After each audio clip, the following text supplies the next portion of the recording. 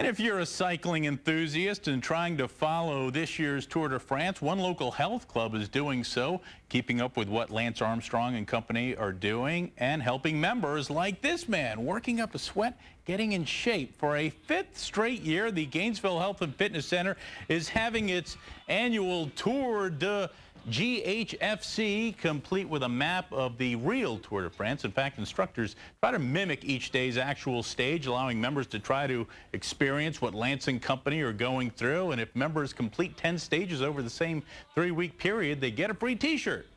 When the riders start in Europe, we start here.